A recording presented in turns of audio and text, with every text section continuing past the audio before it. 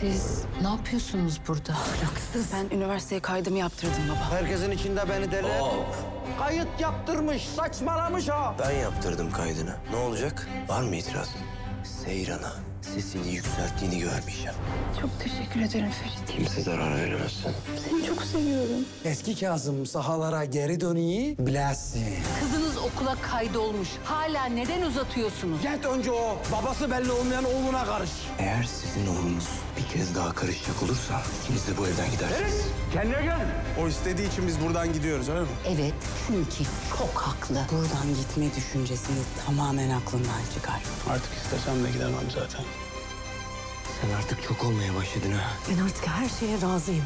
Masallarda su perisi olur ya, onu hatırlatıyorsun bana. Yemin edeyim seni Antep'e yollayacağım. Orada kocanı bekleyeceksin anladın? Ne yapıyorsun sen? Çocuğum olmasın diye. İlaç mı veriyordun sen bana? Gizli gizli benim içtim her şeyin içine doğum kontrolü atıyormuş. Niye yaptığımı da söyleyeyim mi? Yalı Çapkını yeni bölümüyle Cuma Star'da.